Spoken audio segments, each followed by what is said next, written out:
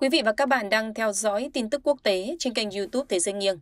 Thưa quý vị, mới đây tạp chí The American Conservative của Mỹ cho rằng Tổng thống Ukraine Zelensky đang theo đuổi kế hoạch bí mật và các hạn chế quyền tự do dân sự ngày càng hà khắc ở Ukraine nhằm củng cố quyền lực của ông.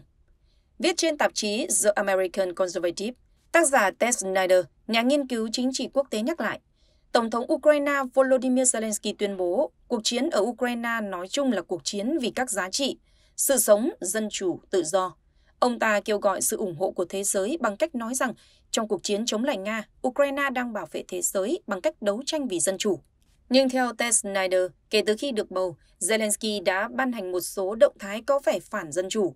Những động thái này được coi là sự thỏa hiệp cần thiết để chống lại Nga.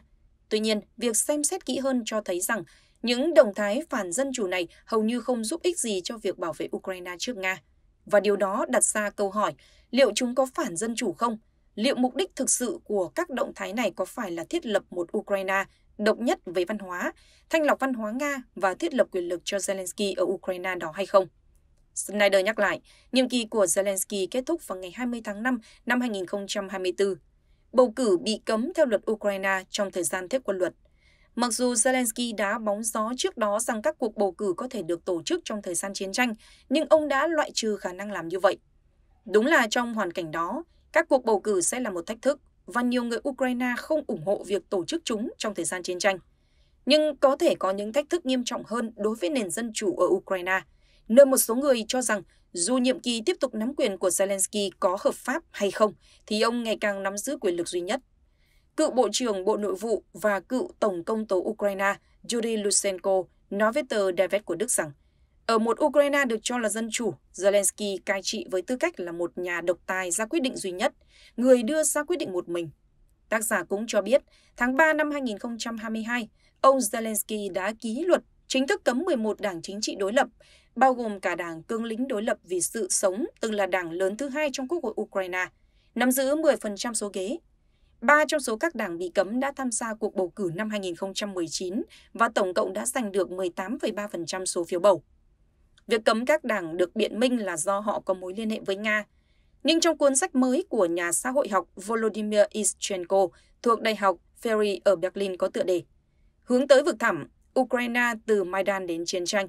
Ischenko chỉ ra rằng hầu như mọi nhà lãnh đạo và nhà tài trợ của các đảng này có bất kỳ ảnh hưởng thực sự nào ở Ukraine đều lên án cuộc chiến của Nga, và những người như vậy hiện đang góp phần bảo vệ Ukraine. Việc cấm các đảng đối lập không phải là một sự thỏa hiệp cần thiết nhằm giải quyết các nhu cầu an ninh trước mắt của Ukraine. Lệnh cấm đã loại bỏ các đảng đại diện cho quyền văn hóa của người dân tộc Nga ở phía đông Ukraine và đứng ra phản đối một Ukraine độc nhất về văn hóa. Đó là lệnh cấm nhằm loại bỏ sự phản đối Zelensky và giúp củng cố quyền lực của ông. Ischenko cũng cho rằng việc cấm các đảng đối lập là Zelensky nhắm vào lãnh đạo của một đảng đối thủ đang nhanh chóng nổi tiếng.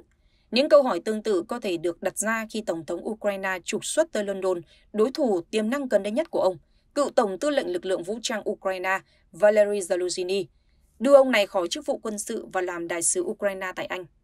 Ngoài ra, theo tờ New York Times ngày 18 tháng 6, các nhà báo và các nhóm giám sát quyền tự do báo chí đang gióng lên hồi chuông cảnh báo về những gì họ nói là đang gia tăng các hạn chế và áp lực đối với giới truyền thông ở Ukraine dưới thời chính phủ của Tổng thống Volodymyr Zelensky. Giống như những hạn chế đối với các đảng phái chính trị, họ nói rằng những hạn chế đối với quyền tự do báo chí vượt quá nhu cầu thời chiến của đất nước.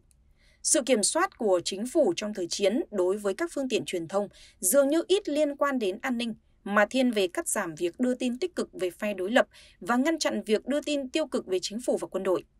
Lysenko, cựu Bộ trưởng Bộ Nội vụ và cựu Tổng công tố Ukraine nói trên đồng ý với đánh giá này và nói với David rằng quyền tự do ngôn luận và tự do báo chí bị hạn chế rất nghiêm trọng. Ông nói rằng việc kiểm duyệt được áp dụng không chỉ đối với các vấn đề quốc phòng và an ninh mà còn đối với các cuộc tranh luận chính trị. Nhiều tiếng nói đơn giản là không được phép nghe trên màn hình TV. Tháng 3 năm 2023, Luật truyền thông mới đã mở rộng quyền kiểm duyệt của nhà nước đối với các phương tiện truyền thông in ấn và trực tuyến, đồng thời trao cho nhà nước quyền xem xét nội dung của tất cả các phương tiện truyền thông Ukraine, cấm nội dung mà nhà nước cho là mối đe dọa đối với quốc gia và ban hành các chỉ thị bắt buộc đối với giới truyền thông. Tác giả Ted Snyder đặt câu hỏi trên The American Conservative Mặc dù cả việc cấm các đảng đối lập và trên các phương tiện truyền thông đều được coi là những hạn chế đối với các phần tử thân Nga do chiến tranh tạo ra, nhưng dường như cả hai đều không mang lại lợi ích an ninh. Cả hai dường như đều có lợi trong việc loại bỏ sự phản đối ông Zelensky. Nhận thức này đặt ra câu hỏi, hơn cả việc hoãn bầu cử là liệu Zelensky có đang thông qua các biện pháp làm suy yếu nền dân chủ và củng cố quyền lực dưới hình thức ngụy trang các biện pháp an ninh cần thiết do chiến tranh hay không.